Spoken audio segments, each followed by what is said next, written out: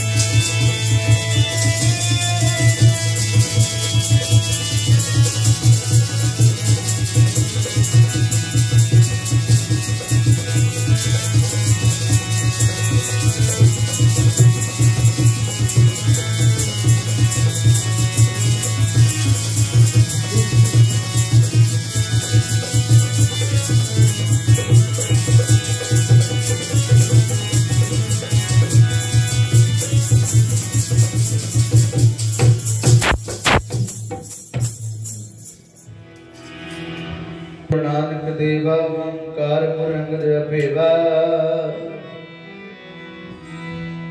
ਕਰਤਾ ਰਾਮਦਾਸ ਗੁਰਵਾਰੀ